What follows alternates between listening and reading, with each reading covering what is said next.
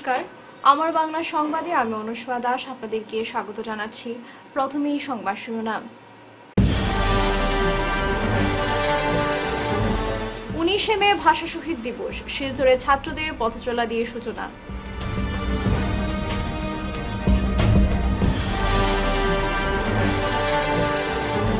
আকসার বিয়াল্লিশতম প্রতিষ্ঠা দিবস পালিত শিক্ষানীতি নিয়ে আলোচনা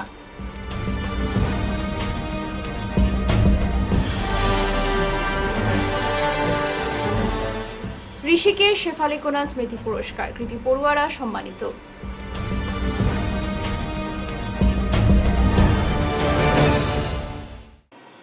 এবারে বিস্তারিত আমার বাংলা সংবাদ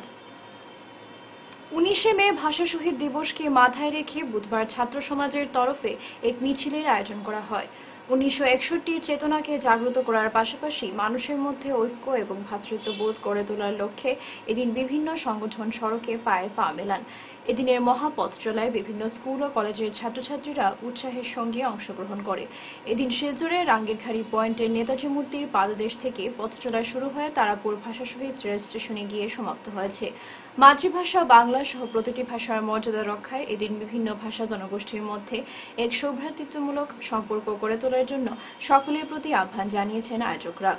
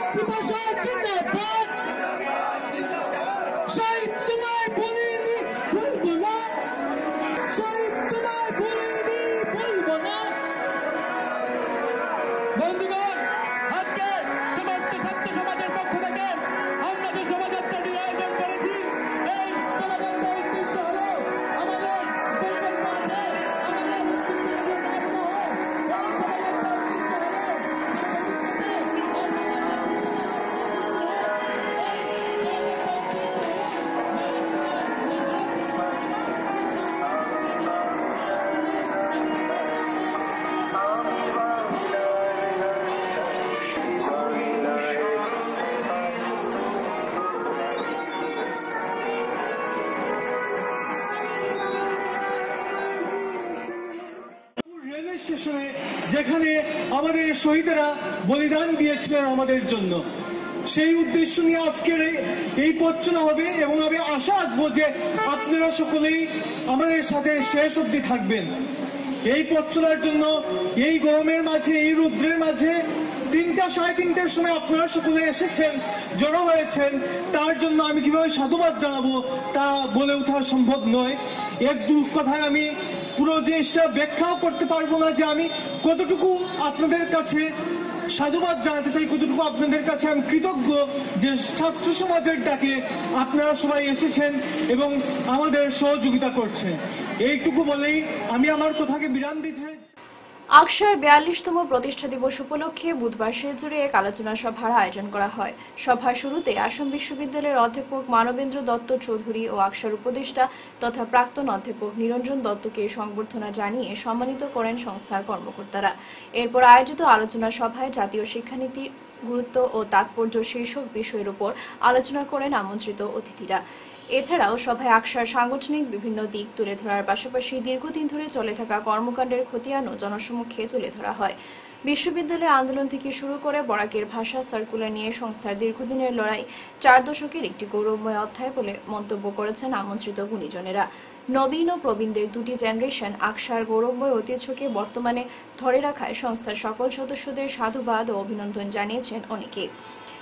এদিকে জাতীয় শিক্ষানীতির গুরুত্ব ও তাৎপর্য তুলে ধরার পাশাপাশি আকশা একটি দাবিপত্র জমা করলে উপত্যকার করিমগঞ্জ হাইলাকান্দি জেলায় আগামীতে সিইউটি e কেন্দ্র খোলার আশ্বাস দিয়েছেন আসাম বিশ্ববিদ্যালয়ের অধ্যাপক মানবেন্দ্র দত্ত চৌধুরী ছাত্র সমাজের সমস্যা নিরসন ও বরাকের সার্বিক উন্নয়নে আকশা আগামীতে আরও দুর্বার গতিতে এগিয়ে যাবে বলে আশা প্রকাশ করেছেন অনেকে সভায় আকশার মুখ্য উপদেষ্টা রূপম নন্দী পুরকায়স্থ ও শঙ্কর দে সহ অন্যান্যরা উপস্থিত ছিলেন আমরা চাই এই বিশ্ববিদ্যালয় প্রাপ্তির আন্দোলন থেকে শুরু করে এ উপত্যকার মানুষের ভাবাবেগ যে ইমোশন ছিল সেটা আজও আছে ভবিষ্যতেও থাকবে এই কেন্দ্রীয় বিশ্ববিদ্যালয়ের দাবিতে এক দশকের যে আন্দোলন সেই আন্দোলনে আমাদের দশ বৎসর যে সংগ্রাম করেছিলাম সেই সংগ্রামে আমরা কখনো রাস্তা রুখো কখনো রেল রুখো কখনো বিমান রুখ আন্দোলন করতে হয়েছিল দিনের পর দিন দীর্ঘ আমরা বরাক বন্ধ করতে হয়েছিল তাই এসবের পর উনিশশো সনে যখন লোকসভা রাজ্যসভায় কেন্দ্রীয় বিশ্ববিদ্যালয় অর্থাৎ আসাম বিশ্ববিদ্যালয় বিল পাস হয় এবং শঙ্করদল শর্মা তখন ভারতবর্ষের রাষ্ট্রপতি সেটা স্বাক্ষর করার পর সেটা আইনে পরিণত হয়েছিল কিন্তু আজ সেটার সুফল এবং বাস্তবায়িত হয়েছে আমরা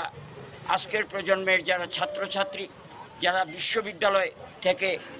ডিগ্রি নিচ্ছেন এবং একটা ভারতবর্ষের মধ্যে একটা ভালো জায়গায় স্থান করে নিয়েছে আসাম বিশ্ববিদ্যালয় এই বিশ্ববিদ্যালয়ে আন্দোলনে যারা সংগ্রামী যারা নেতৃত্ব তাদেরকে সবাইকে শ্রদ্ধার সঙ্গে রাধামাধব কলেজ আইকিউএসির উদ্যোগে বুধবার কলেজ প্রেক্ষাগৃহে দু থেকে তেইশ শিক্ষাবর্ষে স্নাতক পর্যায়ে কলা ও বাণিজ্য বিভাগে কৃতিত্বের সহিত উত্তীর্ণ আটজন মেধাবীকে ঋষিকের শেফালিকোনা স্মৃতি পুরস্কার প্রদান করা হয় এদিন কলেজ পরিচালন সমিতির সভাপতি লক্ষ্মীকান্ত ভট্টাচার্যের পৌরোহিত্যে আয়োজিত অনুষ্ঠানে প্রধান অতিথি হিসেবে উপস্থিত ছিলেন আসাম বিশ্ববিদ্যালয়ের উপাচার্য অধ্যাপক ড রাজীব মোহন পন্থ এদিনের অনুষ্ঠানে কাছাড় কলেজের অর্থনীতি বিভাগের বিভাগীয় প্রধান অধ্যাপক ড জয়দীপ বিশ্বাস মুখ্য বক্তা ও শিলচরের সাংসদ ডক্টর রাজদীপ রায় সম্মানিত অতিথি হিসেবে উপস্থিত ছিলেন অন্যান্যদের মধ্যে উপস্থিত ছিলেন রাধামাধব কলেজ পরিচালন সমিতির donor member engineer Anshu Kumar Roy college অধ্যক্ষ doctor Debashis Roy doctor Anup Kumar Roy doctor Asima Roy Radhamadhab college প্রাক্তনী সমিতির সভাপতি দেবাশিস সোম পুলক দাস শশাঙ্ক শেখর ধর প্রমুখ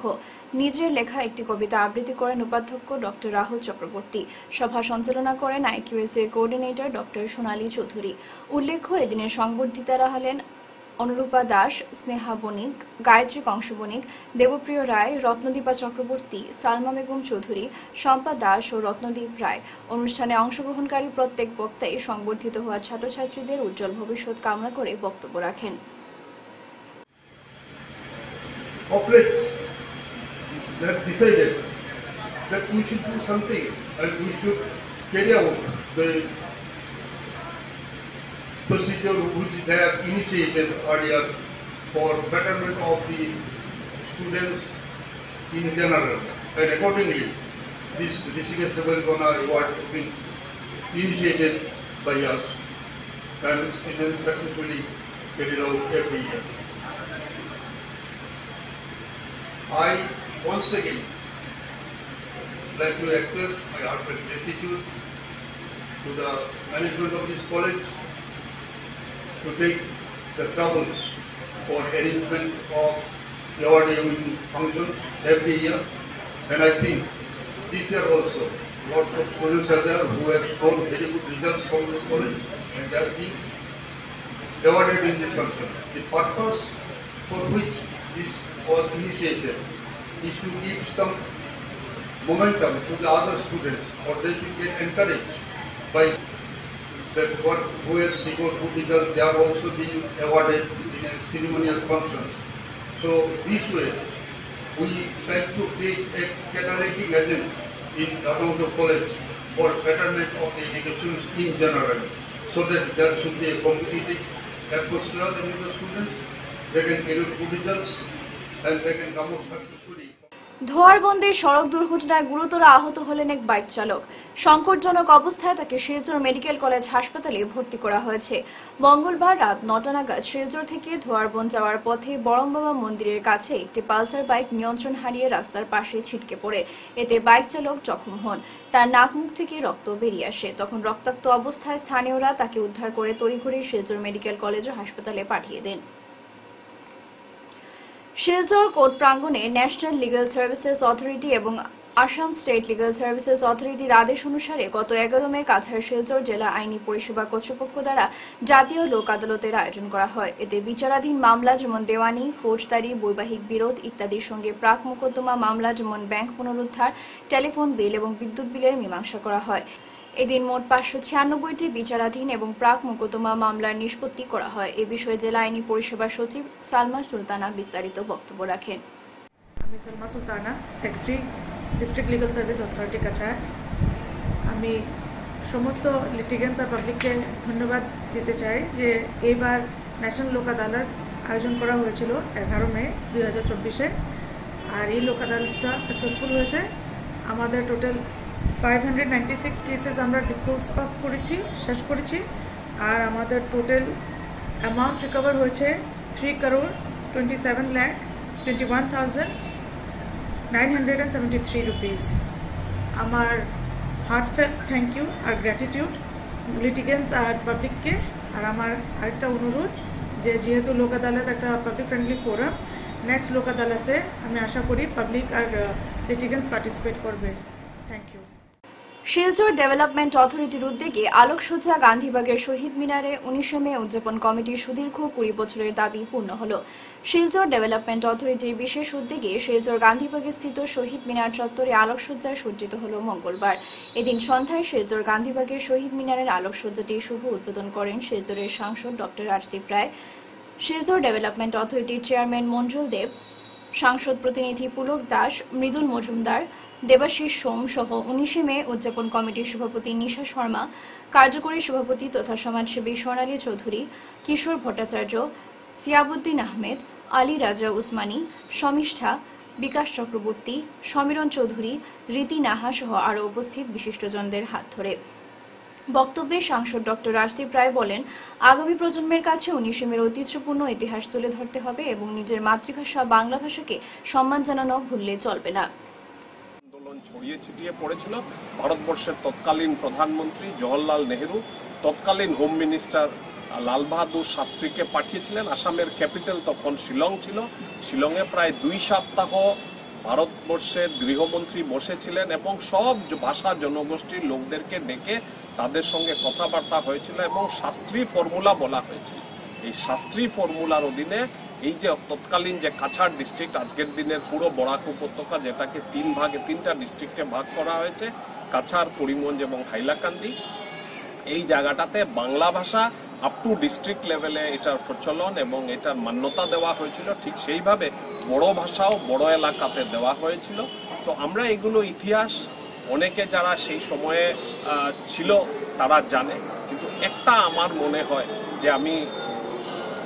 উনিশে উদযাপন কমিটির কাছে আমার নিবেদন থাকবে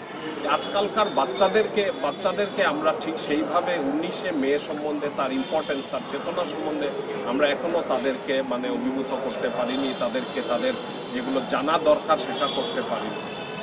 আমি আশা রাখবো আপনারা এটাতে উদ্যোগ নেবেন কিভাবে করবেন না করবেন সেটা আপনারা ঠিক করবেন এবং দরকার লাগলে আমরা সবাই মিলে সেটাতে উদ্যোগ উদ্যোগ নেব যাতে পরবর্তী প্রজন্ম যারা আছে তারা বাংলা ভাষায় বাংলা ভাষার ইম্পর্টেন্ট ভাষার জন্য দেশ হয়েছে ভাষার জন্য শহীদ হয়েছে পৃথিবীর কোথাও এরকম ইতিহাস নেই যে ভাষার জন্য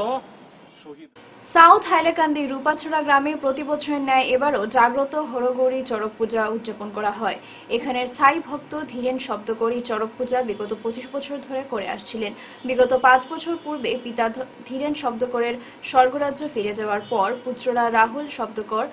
অজয় শব্দকর বিজয় শব্দকর ও অন্যান্য ভক্তবৃন্দের একনিষ্ঠতায় আজকে শুভ শুদ্ধ চড়ক পূজা সুসম্পন্ন হয় অগণিত লোকসমাবেশে প্রাঙ্গণটি ছিল অতীব মনোরম লালা হাইলাকান্দি কাটলিচোরা ও বহু জায়গা থেকে প্রায় হাজারের ঊর্ধ্বে লোক সমাগম হয় মহাসাধক শিলচর করাতিগ্রাম শিমতলা থেকে আগত সুরের সন্ন্যাসী চরকগুরুর উপস্থাপনায় প্রতিবারের মতো এবারের পূজা সুসম্পন্ন হয়েছে হাইলাকান্দি থেকে উমিপালের রিপোর্ট মনীষ চক্রবর্তী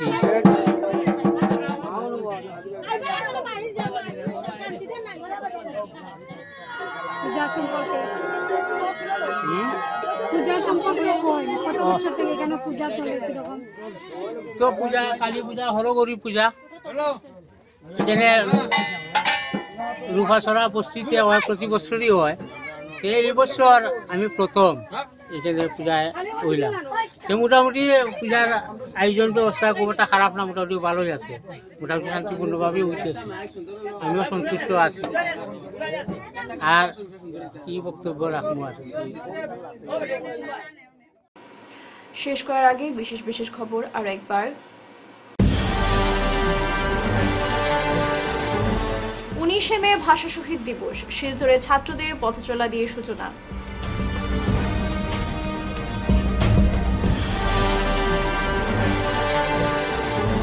আকসার বিয়াল্লিশতম প্রতিষ্ঠা দিবস পালিত শিক্ষানীতি নিয়ে আলোচনা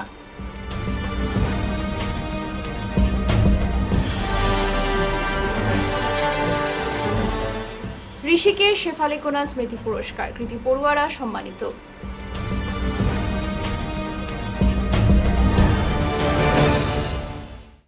এখনকার মতো আমার বাংলা সংবাদ এই পর্যন্তই নমস্কার